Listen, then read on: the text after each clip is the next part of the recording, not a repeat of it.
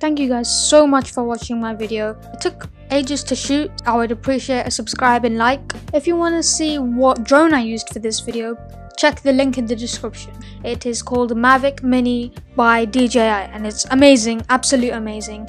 As a beginner flighter pilot thingy, it's amazing. I absolutely recommend it if you're if you want a first drone and you want to start cinematic shooting. Please let me know if you want a full review of this drone. I'll do like a full review, all the specs and stuff.